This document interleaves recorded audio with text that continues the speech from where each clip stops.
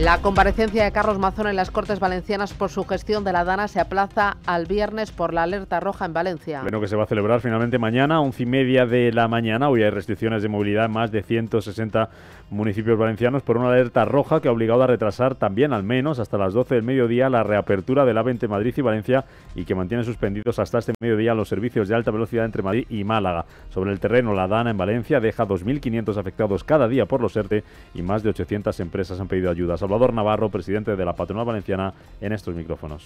Cerca de casi eh, un 30% del PIB de la economía de la provincia de Valencia reside, está en, en, esas zonas afectadas, que no quiere decir que esté el 100% afectado, pero una parte muy importante. Y esto lo hemos dicho nosotros también. Aquí vamos a necesitar un plan Marshall de inversiones en infraestructuras, pero también apoyos a la economía local, apoyos al consumo.